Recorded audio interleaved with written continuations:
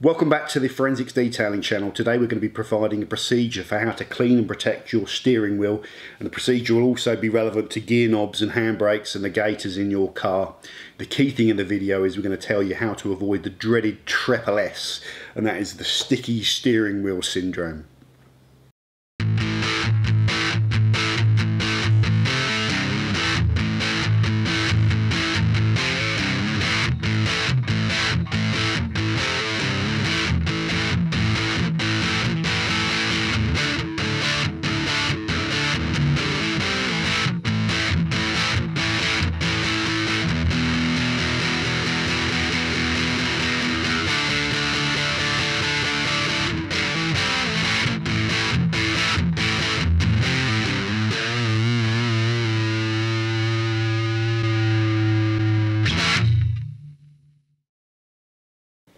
Okay, come on, fire yourself up, John. Get going. One, two, three.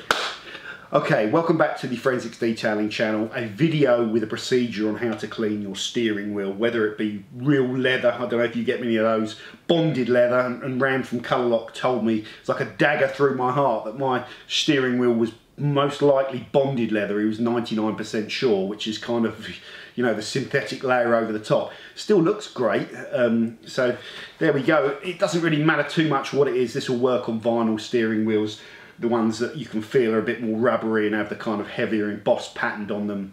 It will clean it, and very importantly, it will get the grease off of it and we'll go into detail on that later on so you don't get the sticky sticky steering wheel at the end and it will protect it so it's a good comprehensive guide on how to do this properly and I've realised from shooting it I did not know how to do it properly before so it's been useful for me as well.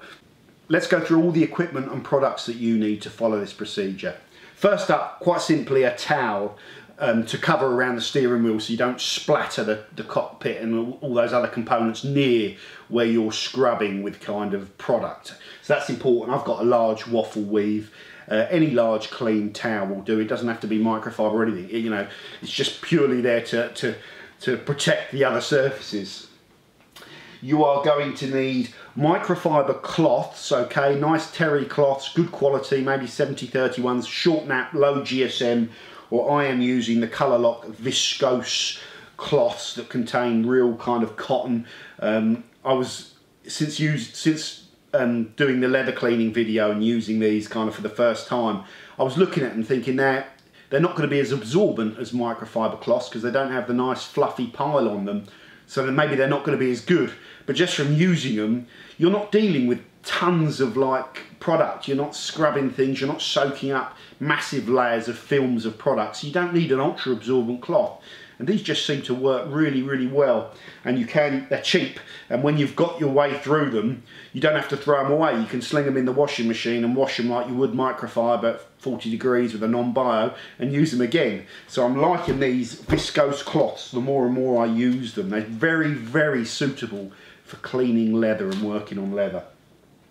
You are going to need a leather cleaning brush and I'm now using the Colour Lock brush. I had a I had another one that I've been using for years that was a leather cleaning brush, about twice the price, and the bristles on it are way too long, um, so it just makes it a little bit, you know, it's just shorter bristles, makes it a bit easier to work closer and more accurately. And so the Colour Lock brush, which you'll see in many guises around because they sell it to other brands and stuff, is cheap as chips. I think it's uh, 3.95 and it's just a little bit better. I'm also using a very soft brush, uh, bristled toothbrush, okay? I don't know if that's a faux pas or not, but it can just access the things that a bigger brush can't. Um, if you are going to get a toothbrush, don't get one of those expensive ones with the really thick bristles on them just get a, I found a pack of these really cheap ones that are very soft and whenever you're using brushes cleaning the steering wheels the thing you're kind of worried about is scrubbing on the, the sort of cotton threads of the stitching too too aggressively. So as long as you go careful with a soft brush you know you're going to be you're to be fine. So toothbrush and the Colour Lock um, leather cleaning brush. Now the chemical products we have the Colour Lock mild leather cleaner and the Colour Lock Strong Leather Cleaner. You can use either of those depending on the level of soiling. In this video I'm using the mild leather cleaner because that's appropriate. Generally going to be more appropriate for steering wheels. We are also using a leather cleaning spirit. So this is a solvent based cleaner as opposed to a water based cleaner. We will talk about that later on and we're going to be using the leather shield which is the um, thing which prevents friction damage and creates the barrier um, on the surface. Um, you can use these cleaning sponges but I found the viscose cloths fine um, and that is all of the equipment you need very quickly, the first thing you do is get into your car. Um, I um, engage the uh, ignition or whatever it's called. I don't start the car, but I just take off the steering wheel lock so I can rotate the steering wheel and access the wheel better than trying to get at certain points where if the steering wheel's locked. That's important. Don't start the car up and do this with the car running. You know, I'd end up accidentally slipping and flooring the accelerator in first gear or something, going straight through the wall and ending up in the uh, neighbour's swimming pool. So you don't want any horrific accidents. So don't clean the steering wheel with your engine running.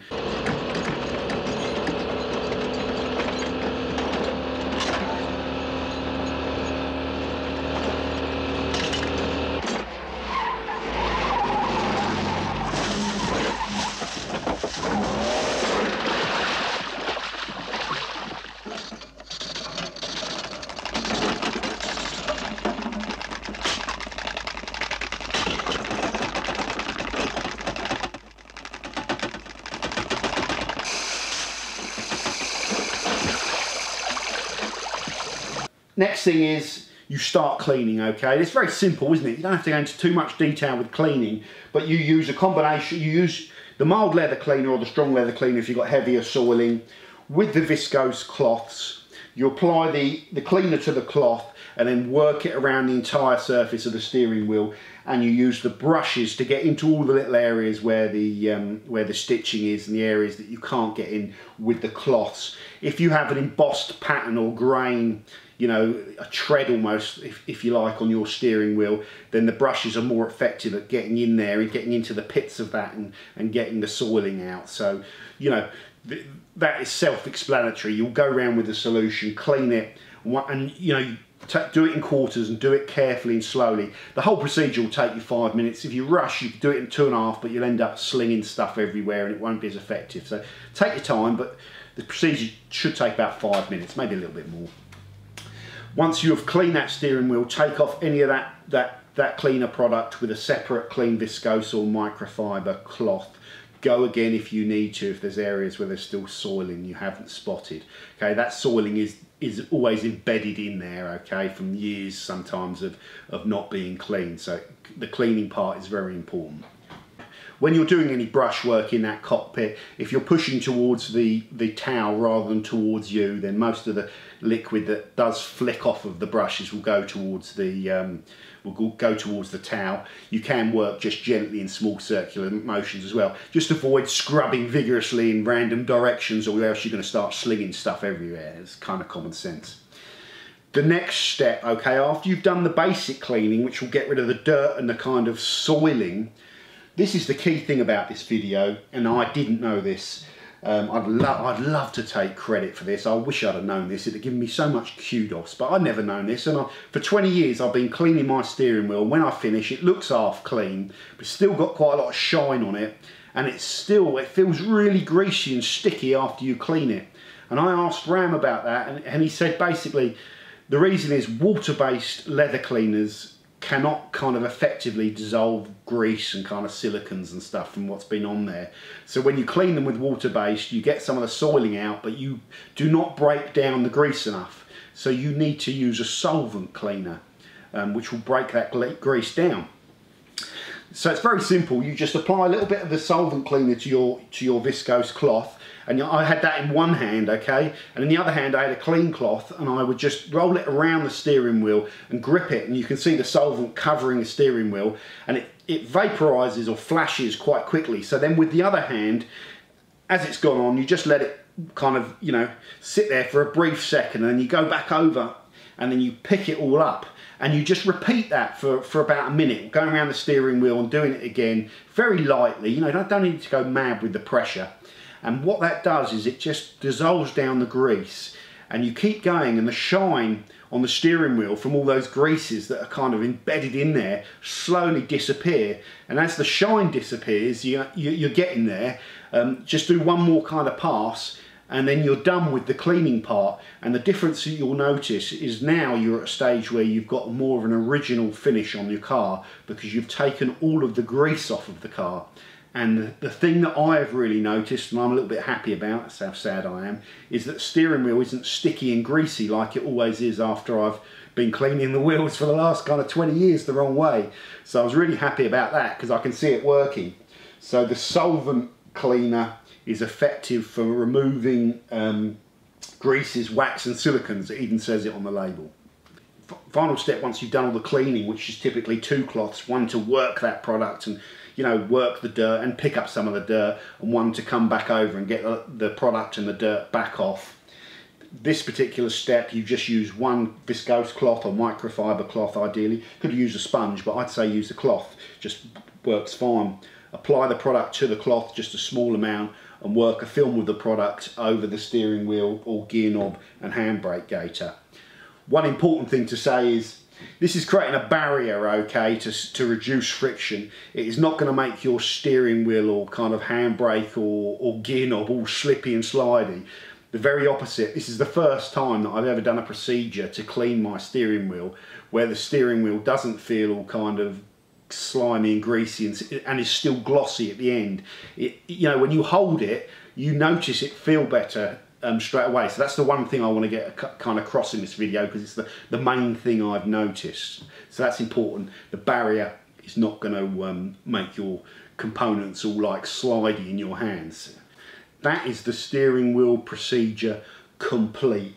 The main thoughts on it guys, as I've said in this video, is it's, it's probably going to actually get your steering wheel grease free, um, which water-based cleaners, doesn't matter if it's a Color-Lock one, doesn't matter if it's the JML 2001, water-based cleaners are not effective at removing grease. And that's why these specialist kind of companies know what products work and have, have the ranges.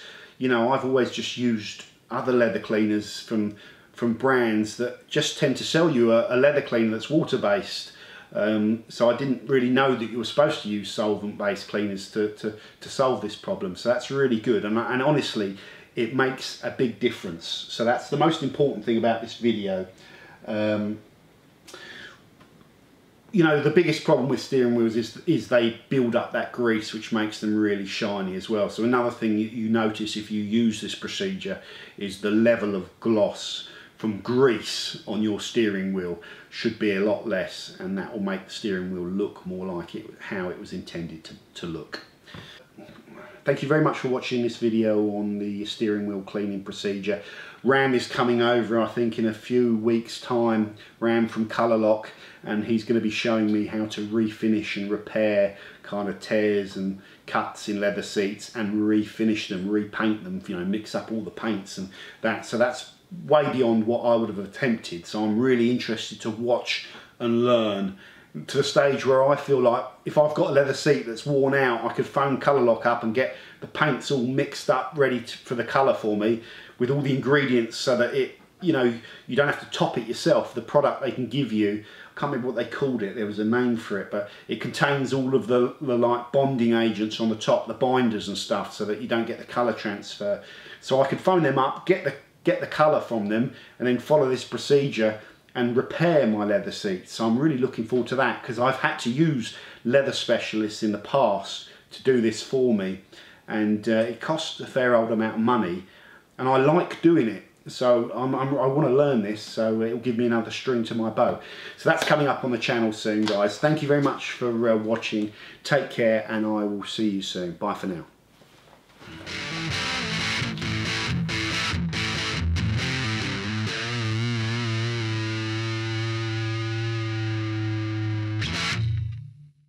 Don't sneak up on me when I'm filming. It's like bloody episode of The Walking Dead.